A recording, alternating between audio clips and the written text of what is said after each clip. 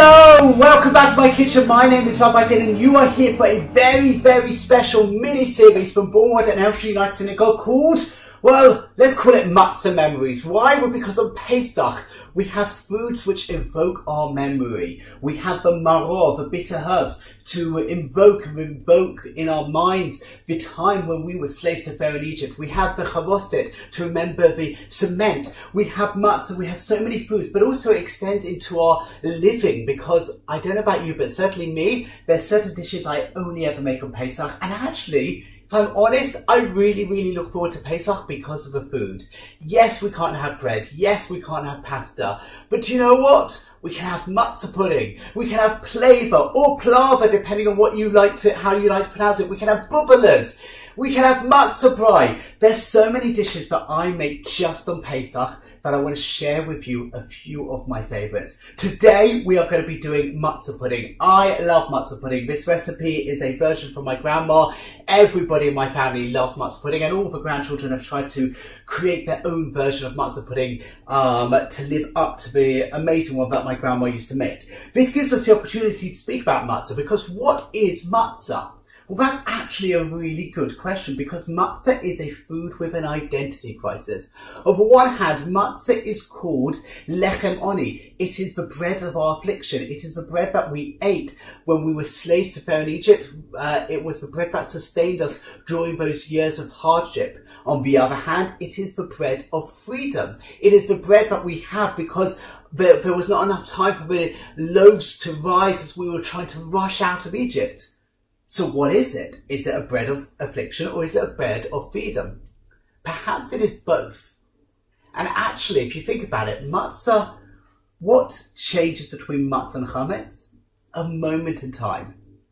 Up until 18 minutes, matzah is considered matzah. Anything longer than that and it suddenly becomes chametz. Matzah is the bread of transition.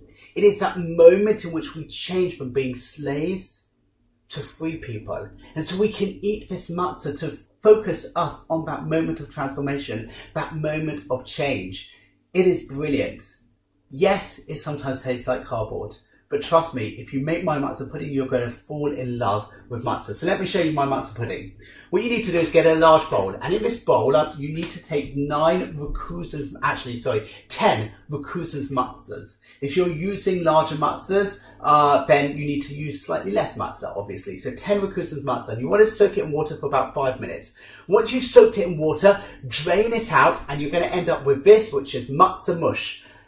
I love matzah mush and now we're ready to make this into our matzah pudding. For those of you who are just uh, looking, thinking it's at my kitchen is, how can you already be doing Pesach stuff? Well, I've kashered uh, one of my ovens already and I've got here is my Pesach sideboard um, and these are all my Pesach utensils um, that, I'm going to be able to use uh, for my Pesach cooking. So I've got my matzah, which has been soaked in water and, and squeezed out all the water and it is ready there. Into that I want to add one large um, cooking apple. And you want to just dice this cooking apple quite uh, roughly, but you want it to be into nice little bits of dicing. I know I've just made that as a contradiction, but just dice up your chopped apple and literally throw it into the bowl. This is a very, very simple recipe. Um, this is a recipe that my family, as I said, have every year on Seder night.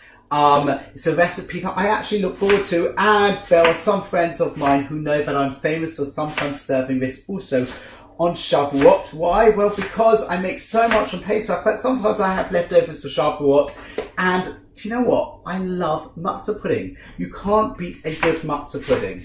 Matzah pudding, you know, it's amazing for, for dessert, but it's also really, really, really yummy breakfast if you warm it up as well. So, I've got my one chopped um, baking apple. Quite a nice large one I'm using. I love apple, hence why I'm using that. I'm also going to put in one uh, eating apple as well.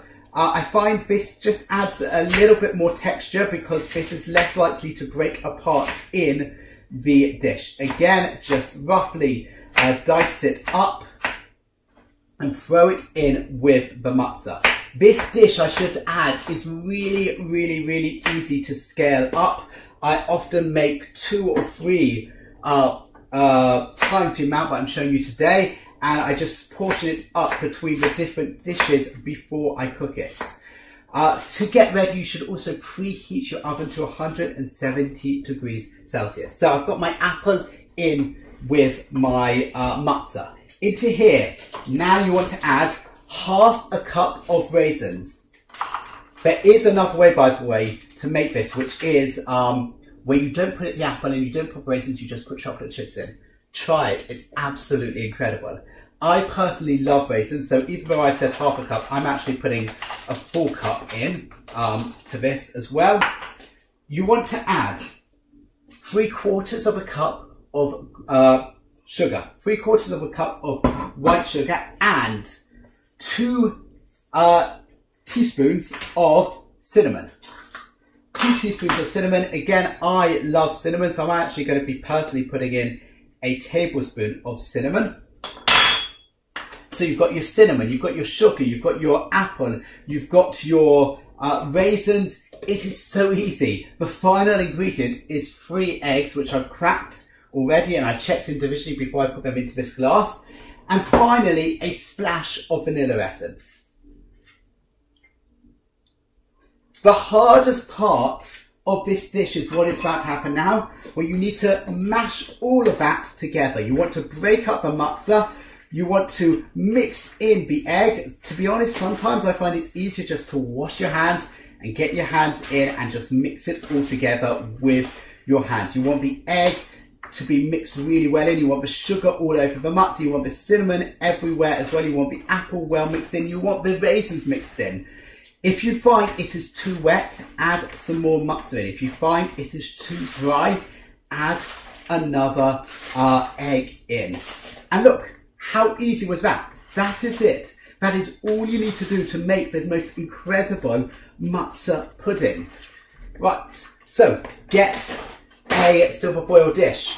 I think this might be enough for one 9 by 9 but I've got some smaller ones in case. Spray your dish because you want it to come out quite easily.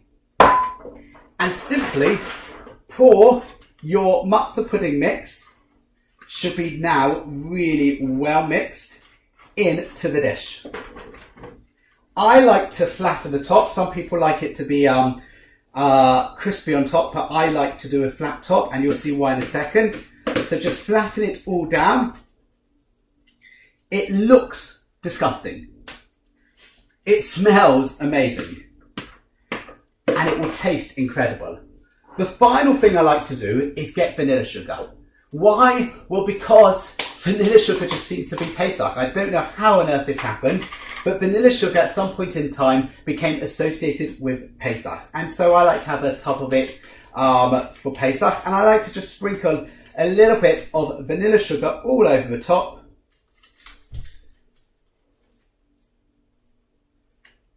Gonna add a little bit of vanilla into that flavour, a bit more on the top. And that's it. Let me show it to you. This is it. This is how easy it was. Now this is going to go into the oven for 45 minutes on 170 degrees Celsius. It's a fan oven and I will show you the finished product. I'm not going to be able to obviously eat this yet because it's not Pesach, uh, but I'll show you the final product once it is done. So here it is, my matzah pudding. It's been in the oven for about 50 minutes in total. It looks amazing.